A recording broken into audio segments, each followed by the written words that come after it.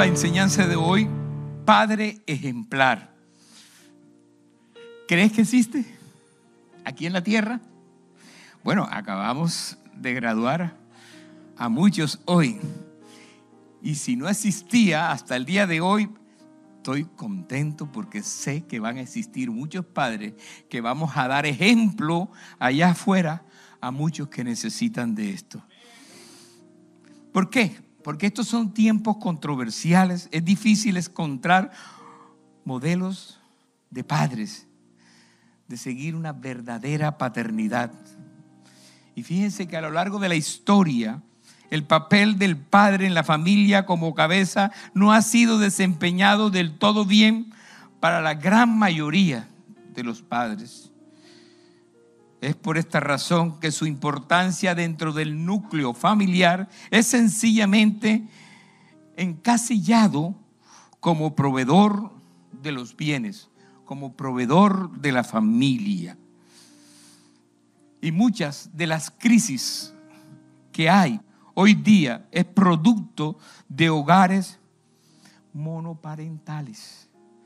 Es muy común hoy día cuando solo existe una sola figura de autoridad en el hogar. En nuestra cultura, quien más se ausenta es el padre. Pero estamos viviendo tiempos de una sociedad posmoderna que ha cambiado los principios divinos que eran de los padres proveedor y protector, como los dio el Señor, nuestro Señor, en las Escrituras, por un abandono total de la figura masculina en los hogares, aún en hogares donde está presente la figura, pero no está presente la autoridad verdadera que Dios delegó en cada uno de nosotros como padres. Porque se han cambiado los roles muchas veces en esta sociedad.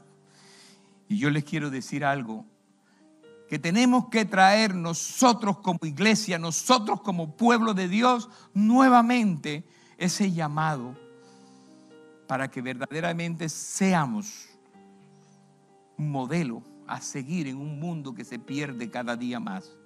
Y yo estoy seguro que no solamente son graduandos hoy de la paternidad porque recibieron un doctorado, no es cualquiera, es un doctorado y tienen una responsabilidad grande ante el mundo de llevar ese doctorado o cuando tú recibes, aquellos que son doctores o, tienen maestría, cuando reciben ese diploma, ¿cómo se sienten? ¿Se sienten contentos? ¿Se sienten felices? Yo estoy seguro que nuestro Padre Celestial se siente mucho más feliz de ver que su creación se está dando nuevamente como quiere, ¿verdad? En la tierra. Seamos sal de la tierra y que nuevamente regresemos a ese cordón de tres dobleces, ¿verdad? En el cual está la esposa, está el papá. ¿Y cuál es la tercer cordón? El tercer cordón, nuestro Dios. Esa piedra angular que debe estar permanentemente en los hogares.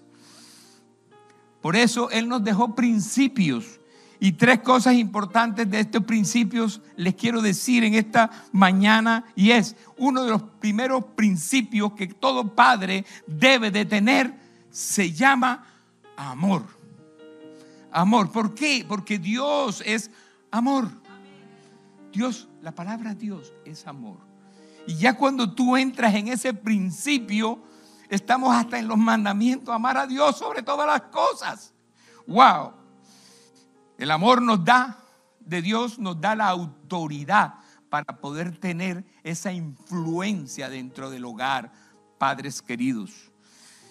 Pero también hay otro ingrediente en todo esto que se llama obediencia. Sin la obediencia no hay bendición, padres y madres, en el día de hoy. Hay que tener obediencia al plan que Dios dejó trazado en las escrituras. Él nos dejó un plan en las escrituras y ese plan si tú lo cumples al pie de la letra, vas a tener un hogar en bendición, en victoria, en alegría, en felicidad, en paz, en amor, en gozo. Yo no sé si estás entendiendo esto, pero lo que yo te puedo decir hoy es que la obediencia es un plan importante de Dios para este tiempo. Y la tercera se llama visión.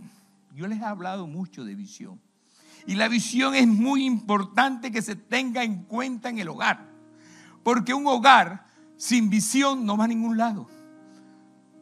Si un padre, que es la cabeza sacerdotal de un hogar, no tiene visión, ¿a dónde va entonces ese hogar? Por eso de hoy en adelante, padres que se gradúan hoy, yo estoy completamente seguro que si tú cumples estos tres principios importantes, tienes y te garantizo que cuando el Señor está en nuestro hogar, la bendición viene porque viene. La bendición viene porque cuando el hogar viene con una visión, está encaminado directamente por el Rey de Reyes, está encaminado directamente por nuestro Señor, está encaminado directamente por la persona del Espíritu Santo que nos dejó el Señor permanentemente. Por ahí hay un dicho popular que dice que padre no es el que engendra, sino el que cría. Puede ser, yo diría algo interesante. Yo diría, padre no es el que, perdón, un verdadero padre es aquel que engendra con amor y que cría con mucho, con mucho, con mucho más amor. Gloria a Dios. No es solamente engendrar, es engendrar, pero también crear con el amor del Padre Celestial. Ser un padre ejemplar, que es la enseñanza del día de hoy, es posible si queremos o tenemos la facultad de recibir ajustes. Y el ajuste está en la obediencia y al plan de Dios. Por eso, si queremos tener padres, si queremos tener buenos hijos, dependerá en gran medida de lo que aquellos que ven en cada uno de nosotros. Ellos observan ellos están mirando todo lo que tú haces. Cómo tú respondes a tu esposa. Cómo tu esposa te habla con sumisión al sacerdote. ¿Verdad? Esposas, tengan cuidado con los gritos en la casa. Aquí no, ¿verdad? Gloria a Dios. Hay que respetar a los padres. Hay que respetar a la autoridad de la casa. Hermanas, no he dicho nada. Hoy es el Día del Padre. Tenemos derecho, gloria a Dios. ¿Por qué? Porque lo que nosotros somos afecta a ellos y serán, y esa es la gran responsabilidad que tenemos nosotros. Todo lo que hacemos los afecta a ellos, aunque tú no lo creas. Yo hoy quiero hablarles de un hombre extraordinario que me llamó mucho la atención y lo quiero poner de ejemplo en el día de hoy ¿Por qué? Porque si el Señor tuvo entre tanta gente que vivía en esa época de escogerlo a Él en su paternidad para poder salvar el mundo, yo pienso que vale la pena tener una reflexión sobre Él. En Génesis, en el capítulo 6, en el verso 1 al 22 de la traducción viviente nos dice de esta manera. En esa época el título decía, un mundo descarriado. Ese mundo estaba descarriado en ese momento. Dice, luego los seres humanos comenzaron a multiplicarse sobre la tierra y nacieron hijas. Y las hijas de Dios vieron a los, los hijos de Dios vieron a las hermosas mujeres, en hebreo para que sepan, hijas de los hombres, y tomaron como esposa a todas las que quisieron entonces el Señor dijo, mi espíritu no tolerará esto. Estaban descarriados. Como muchas veces hoy día, ¿verdad? Jehová habla. y tomaron como esposas a todas las que quisieron. En la versión griega dice, no permaneceré en ellos. O sea, el Señor no quería permanecer en personas que no lo siguen, en personas que no querían hacer las cosas bajo su voluntad. Los hombres durante mucho tiempo, porque solo son carne mortal, dice el verso, porque los hombres somos carne mortal. En el futuro, la duración de la vida no pasará más de 120 años, dice el Señor. En esos días, durante algún tiempo después vivían en la tierra gigantes nefelitas, nefilitas. Pues siempre que los hijos de Dios tenían relaciones sexuales con las mujeres, ellas daban a luz hijos y luego se convertían en héroes y en los famosos guerreros de la antigüedad. El 5 me llama la atención, dice, el Señor vio la magnitud de la maldad humana en la tierra y que todo lo que la gente pensaba o imaginaba era siempre totalmente malo.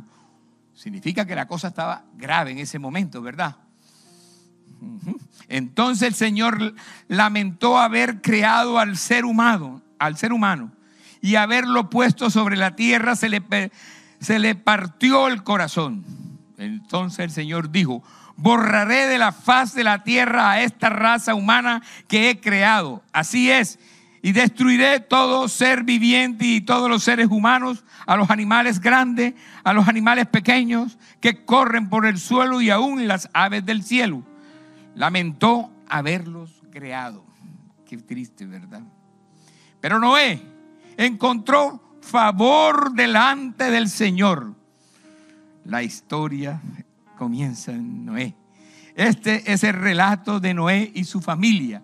Noé era un hombre justo, la única persona intachable que vivía en la tierra en esos tiempos y anduvo en íntima comunión con Dios. Noé fue padre de tres hijos, Sem, Cam y Jafet.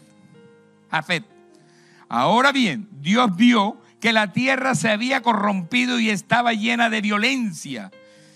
Dios observó toda la corrupción que había en el mundo porque todos en la tierra eran corruptos.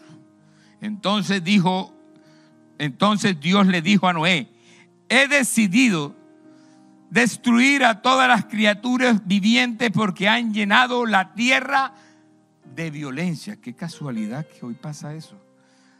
Así es, y los y borraré a todos también, destruiré la tierra. Construye una, y construye una gran barca, le dice a Noé, un arca, de manera, de, de madera de ciprés o madera de fusiete, y recupérala y recúbrela con brea por dentro y por fuera para que no le entre agua. Luego construye pisos y establos por todo su interior haz la barca de 138 metros de longitud, 23 metros de anchura y 14 metros de altura. Deja una abertura de 46 centímetros por debajo del techo, costado alrededor de toda la barca, por la puerta en uno de los costados y construye tres pisos dentro de la barca inferior y medio y superior. Mira, estoy a punto de cubrir la tierra con un diluvio que destruirá a todo ser vivo que respira. Todo lo que hay en la tierra morirá. Pero confirmaré mi pacto contigo, Noé. Así que estarán en la barca tú, tu mujer y tus hijos y sus esposas Así que esposa, pórsense bien. Mete en la barca junto contigo a una pareja macho y hembra de cada especie animal y fin de mantenerlos vivos durante el diluvio. Una pareja de cada especie de ave, animal y de animal pequeño que corre por el suelo vendrá a ti para mantenerse con vida. So, hasta la misma naturaleza ya el Señor la estaba manejando para que entrara esa barca y quiénes eran los que iban a entrar. Y asegúrate de llevar a bordo suficiente alimento para tu familia y para todos los animales. Entonces Noé hizo todo exactamente como Dios se lo había ordenado. Tremendo en un mundo que se estaba perdiendo, en un mundo destruido, en un mundo de violencia, en un mundo que estaba al borde de la destrucción. Pero estos versos a mí me dejan cinco puntos importantes que quiero decirles en el día de hoy, de aquí a las 4 de la tarde. Primero, un padre ejemplar tiene convicciones firmes acerca de qué? De la voluntad. De Dios y de su voluntad. Y déjeme decirle algo, un aspecto relevante de la vida de Noé era el papel que Dios y su voluntad jugaban en su vida. Esto para él no era un hobby o solo un área de su vida involucra a todo ser. Noé era un hombre de más de 500 años en ese momento, cuando se dan las condiciones y los atributos de esta historia.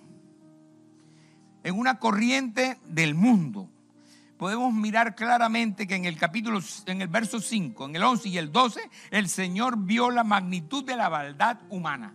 Qué tremendo que hoy día se está viendo tanta maldad humana. ¿cierto? Tanta maldad, tanta destrucción, tanto acabóse con niños que matan. Pero sé, la conciencia se va cauterizando, hermano, y tú no te das cuenta en qué momento pasas de un lado a otro. Ahora ven, dice el 11, ahora bien, Dios vio a la tierra que se había corrompido y estaba llena de violencia algo peculiar que pasa hoy día también, ¿verdad? Quiero dejarles esto dicho porque todo es un comparable de lo que pasó en aquellos tiempos con lo que está pasando hoy día. Dios observó la corrupción que había en el mundo porque todos en la tierra eran corruptos. Pero encontró un hombre y una familia que salvar dentro de tanta corrupción como hoy día el Señor ha encontrado un grupo de padres aquí y ahí en la internet para poder decirles y graduarlos y decirles, son ustedes escogidos para estos tiempos.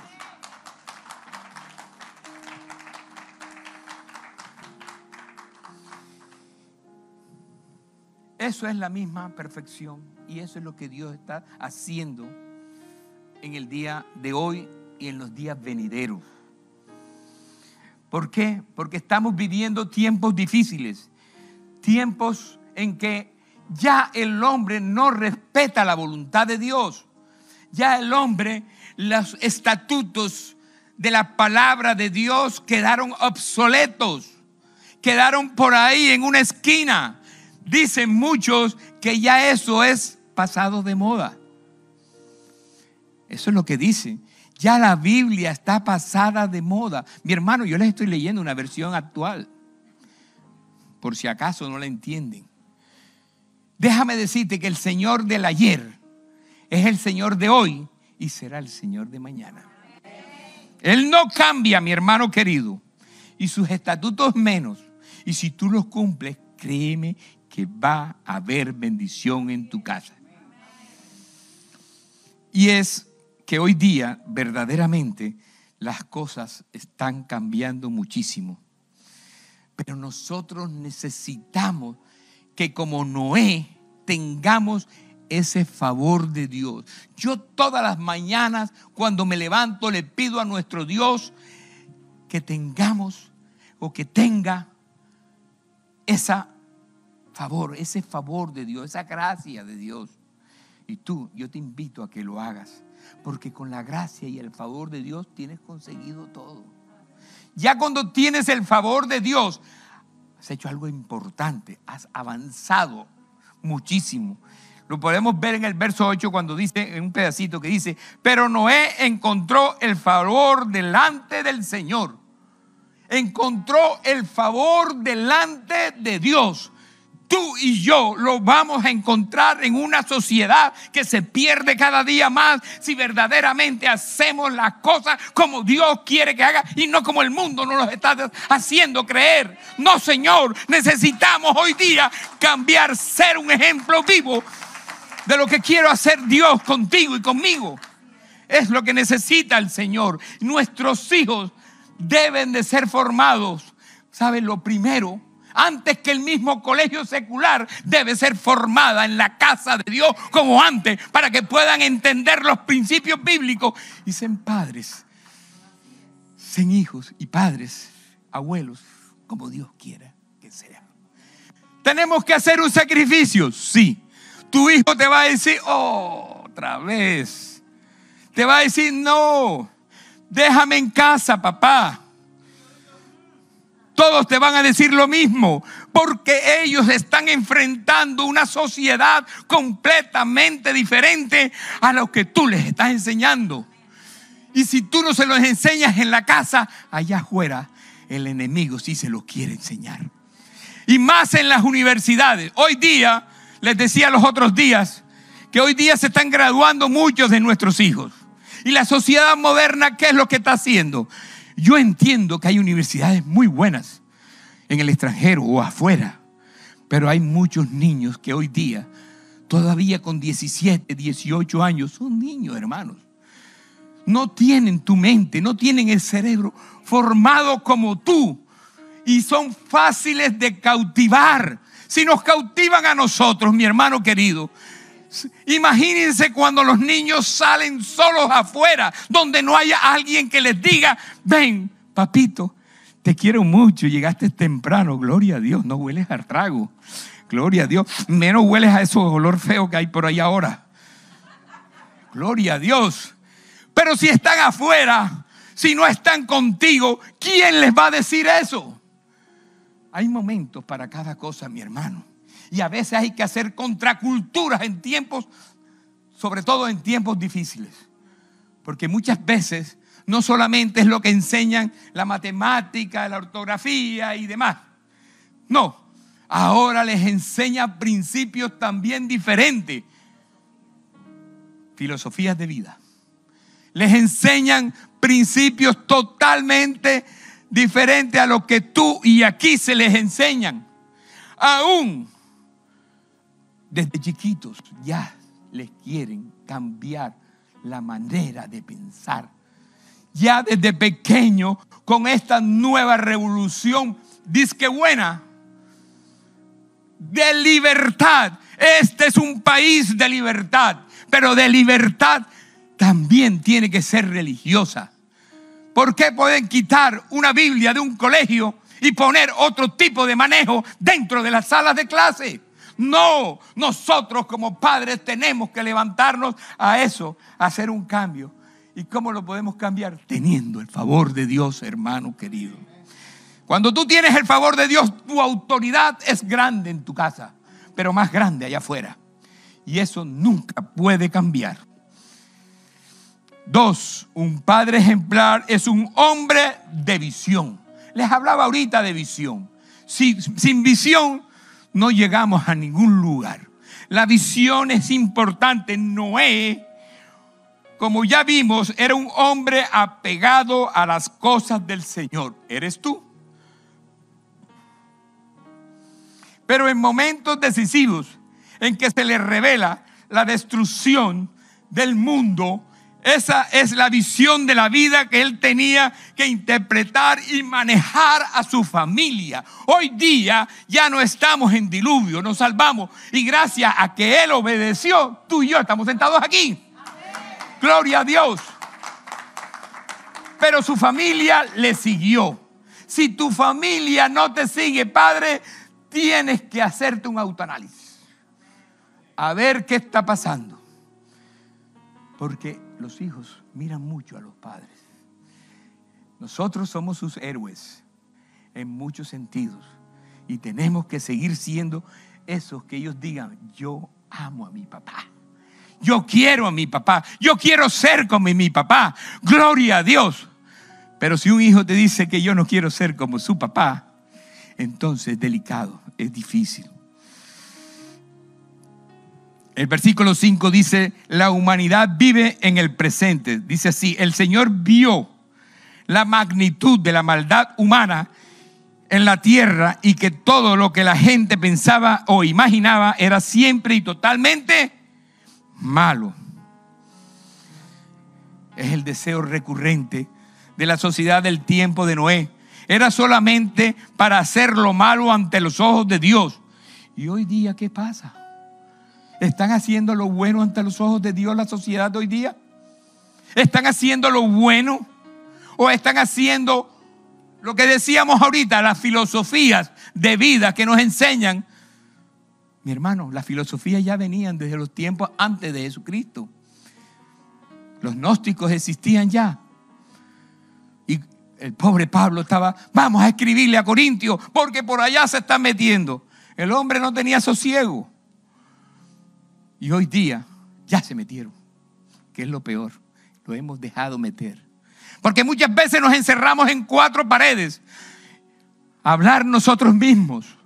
Pero Dios está buscando una generación diferente. Dios está buscando una generación que nos metamos al internet a ver qué bonito tengo el traje. No, que nos metamos a internet a entregar una palabra de vida para aquel que te oiga y te ponga un like, diga, yo quiero ser como él. Gloria a Dios, alabado sea su nombre.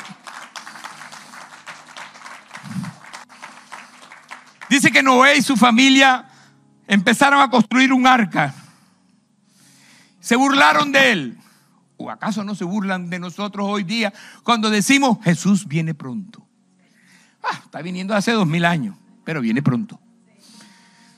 Viene pronto. Y si tú te estás dando cuenta que las cosas se están acercando cada día más, hay guerra, rumores de guerra, hay muchas cosas, hay hambruna. Dice que se avecina una hambruna en la tierra.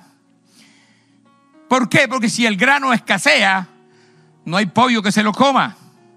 Y si no hay pollo, tampoco hay carne. Y si no hay grano, tampoco puede haber carne de los otros animales. Y si escasea en tu mesa, ahí vienen los problemas. Si te das cuenta, entonces guerras y todo este tipo de cosas, aún la misma naturaleza se está revelando. La misma naturaleza, ¿por qué? No es porque vino un sobrenatural, no, porque nosotros mismos la estamos dañando. Y es lo que está sucediendo hoy día. Este padre necesita tener o preparar el futuro de su familia. Noé cuando el Señor le habló y le dijo lo que iba a pasar en la tierra, él preparó a su familia. Yo te pregunto hoy, ¿estás preparando a tu familia para un paseo o estás preparando a tu familia para venir a la casa de Dios? ¿O estás preparando a tu familia, aquí este lado, vamos a ver, estás preparando hoy a tu familia para venir a la casa de Dios o para ir a un barbecue. Como Día del Padre. Y ustedes están preparando a su familia para venir a la casa de Dios o para pasear. O los que están aquí en internet. ¿Por qué tuvimos que irnos, pastor? Está bien, hay que tomar vacaciones, gloria a Dios. Yo cumplo todo el tiempo, ¿verdad? Yo no digo nada contra eso. Yo simplemente digo que día a día, momento a momento, devocional tras devocional, día a día, tú te entras en la presencia. Pastores que no sé ni qué voy a hablar con Dios. Ahí en la aplicación tienes un devocional diario. Son horas de trabajo para que tú tengas un devocional día a día. ¿Lo ves? ¿No lo ves? Yo sé que no lo ves todos. No, mentira, sí lo ves. Gloria a Dios. Te conectas con Dios, hermano querido. Un padre ejemplar, número tres, es obediente a la voz de Dios.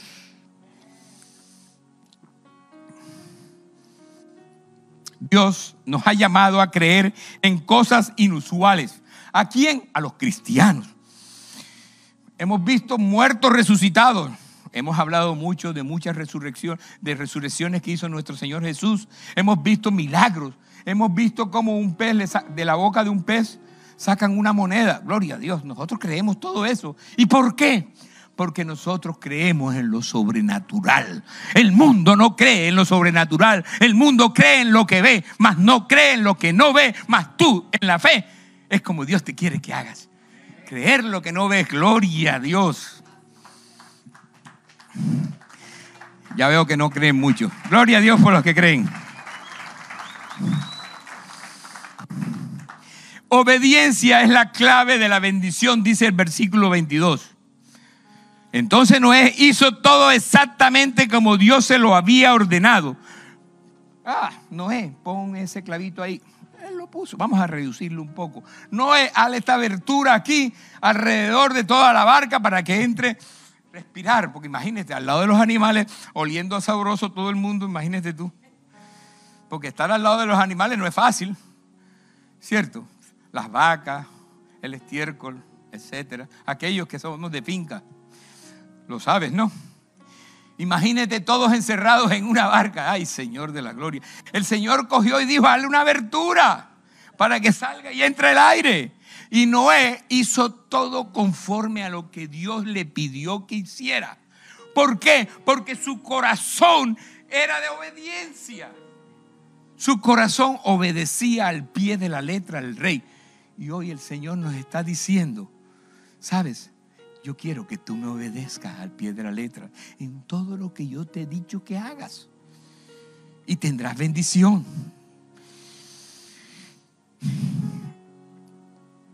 Dice el verso, el capítulo 9 del- y el verso 1 dice, bendijo Dios a Noé y a sus hijos y les dijo, fructificad y multiplicaos y llenad la tierra. ¿Por qué? Porque obedeció. Noé hizo todo al pie de la letra en obediencia. Y el resultado de esto es que salvó a su familia, salvó a sus hijos, salvó a las mujeres de sus hijos. So, salvó una generación simplemente por la obediencia. Y en estos tiempos el Señor nos está diciendo, obedece. ¿Por qué? Porque está llegando tiempos difíciles, les he dicho otra vez. Tiempos difíciles a la tierra están llegando, donde ya al Señor no se le ve como primero. Ya al Señor no lo tienen de primero los jóvenes. Hay otras cosas más importantes. Pero el Señor te dice, regresa a mí. Regresa a mí. Hay algo muy importante. Y me preguntaban los otros días, ¿y qué será y por qué pasa eso? ¿Sabes por qué? Porque se pierde el primer amor. Ese amor que habla Apocalipsis de la iglesia que perdió el primer amor. Pero tengo algo contra ti. Me amas, me quieres, me respetas, pero tengo algo contra ti. Perdiste el primer amor. Cuarto, un padre ejemplar tiene autoridad sobre su familia. O sea, eso es un padre ejemplar. Cuando una persona es congruente entre lo que cree y lo que hace, podemos decir que alguien está con autoridad en la casa. Tradicionalmente creemos en la autoridad que significa el poder que hay sobre otra persona. Pero el significado más adecuado que he encontrado para la palabra autoridad es aquel que hace creer a otro. Wow, entonces deducimos que una persona con autoridad es aquella que ayuda, estimula a crecer quienes tienen debajo. Y es una responsabilidad grande. Hermano, no es lo que digan los hijos, es lo que tú en tu casa, ellos vean de ti la autoridad. No es que ya tengo 18 años y ya yo tengo mi propia, mientras vivas en mi casa, se hace lo que en mi casa yo diga. Tengo 30, me importa un comino. Mientras vivas en mi casa se hace lo que la autoridad del Padre es. ¿O acaso Noé no tenía hijos casados en la barca? ¿O sí? ¿Y con hijos? Sí, pero respetaban a Noé. No porque tengas canas que ese viejito, mi hermano querido, las canas son importantes. Yo no las tengo todavía, gloria a Dios. Ay, seguimos antes que me linchen aquí. Quinto, un padre ejemplar alaba a Dios junto con su familia.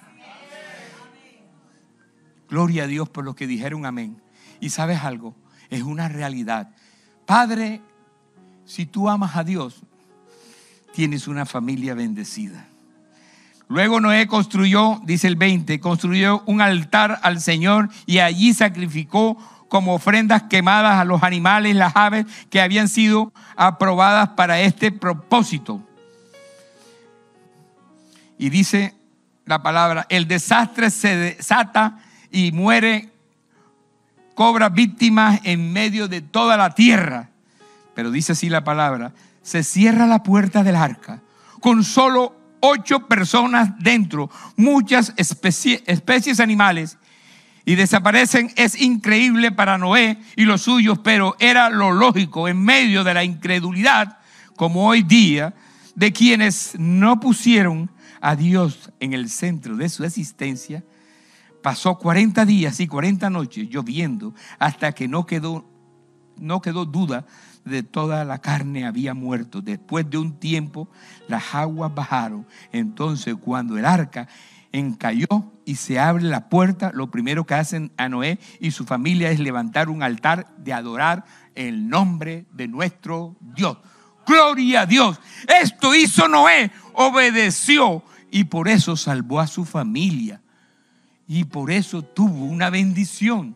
Ahora una tierra nueva. Tierra nueva.